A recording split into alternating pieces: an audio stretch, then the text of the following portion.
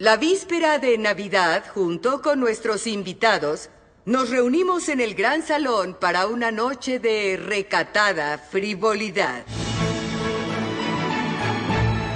This year, there's the issue of the girls, the dancing and the Yule Ball. Everyone was dressed up. None of us had a clue what we were doing. I knew I was going to have to dance in front of everyone else. I'm afraid of falling or something, and everybody turned around pointing and laughing. All the kids were able to let loose.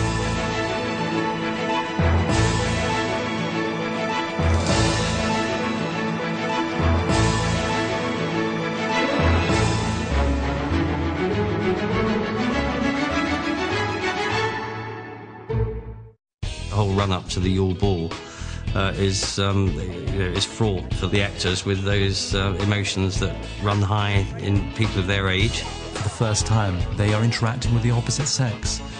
They are enjoying it, they're finding it difficult. Why do they have to travel in packs? I mean, how are you supposed to get one on their own to ask? What I like about Harry is he's pathetic at, at the whole romance thing. He's rubbish. There's a really good scene, it was one of the last ones we shot, with Harry and Cho, where he asks her to the ball. And he does it incredibly without any kind of tact. He kind of shouts it out like, I just wondered if you wanted to go to the ball with me. Sorry, I didn't catch that.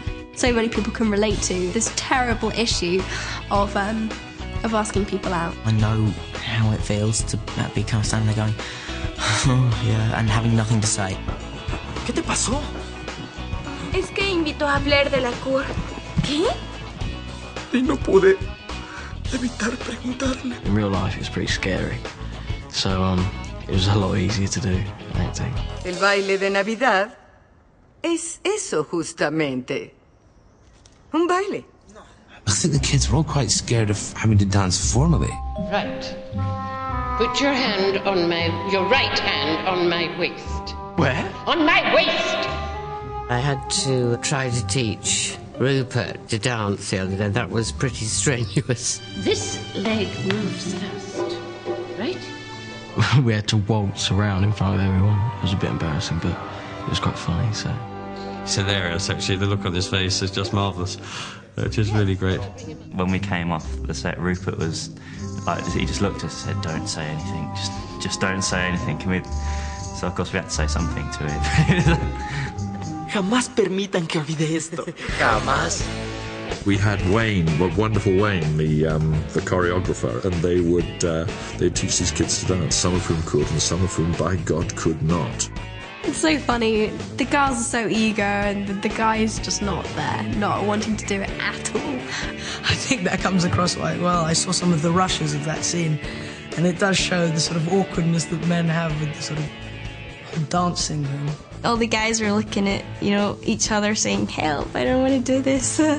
I'd like to be able to dance, but I just don't want to learn, if you know what I mean. If everyone's got to do it, it's okay. If it's only you, then. But everyone's got to do it, so it's just a laugh. I've been doing my steps, I've been working my feet. You see my feet work? Yeah. the kids were quite excited about wearing something special. All the girls got to dress up, and the guys were in tuxedos. Once you're in that costume and the, and the tux and with your cloak on and everything, you do feel a lot more elegant. Mum sent me a dress. Mine is just, oh, it's horrible. It's like pink lace all over it, covered in like flowers. ¿Qué es eso? ¿Qué traes puesto? Mi traje de gala, ¿por qué? Porque luce genial. Sin encajes ni ridículas mangas. Poor boy, every time he was wearing it, he really had to laugh. Yeah, I'm not really looking forward to wearing that. Then, on the other hand, there is Emma, who looks so lovely. The ball's about Emma. That was like the most important dress. It was like Cinderella. The dress was really a work in process. We kept on changing. We kept on changing and kept on changing, and, and Emma was getting nervous because she thought, what am I going to wear? And at the end, yes, we got it. It was absolutely gorgeous.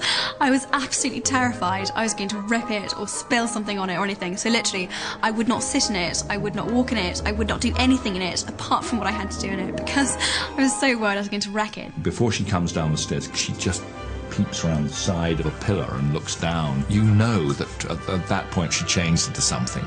Emma was never ugly. So, you know, she's always been quite beautiful.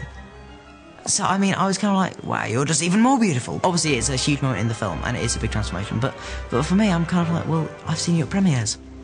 I was so nervous about the whole thing because it's meant to be such a big moment and it's going to be an anticipated moment. And oh, I had so many pointers from Mike about how he wanted to look. Um, I got down about three steps and fell down in front of the whole set, which was incredibly embarrassing. But um, no, it should be good in the film. You won't see that bit. but um, no, it was good.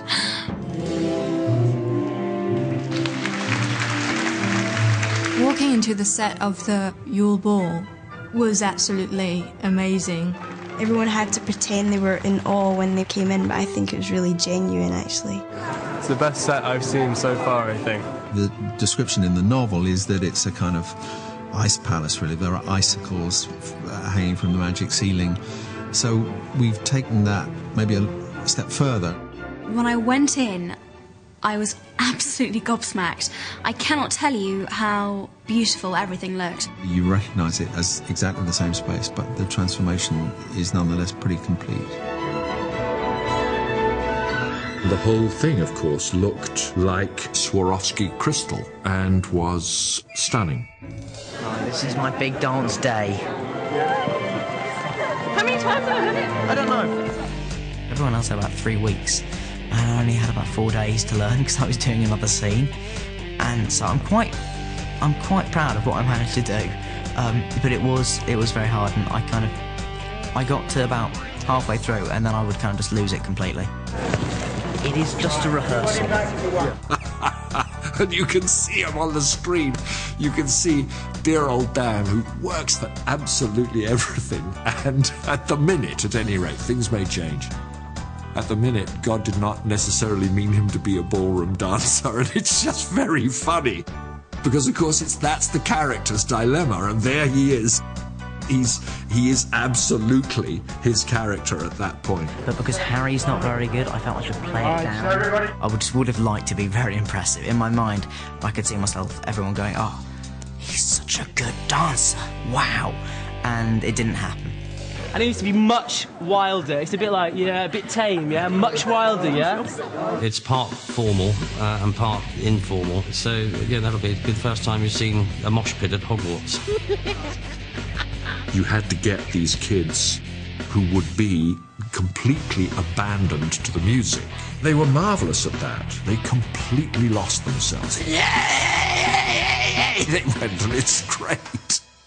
So now I will bow my hand. And, uh, and I'm going to come over to the dark side. There you go. There were a lot of boys, a lot of girls, probably more um, in a more loose environment than we've ever had. And uh, boy, did they have a blast. We all did. I have to say, it was it was really fun. I think what Mike is really trying to capture is the really awkward teenage stage where girls and boys are interested in, in each other, and neither of the sexes quite know how to be.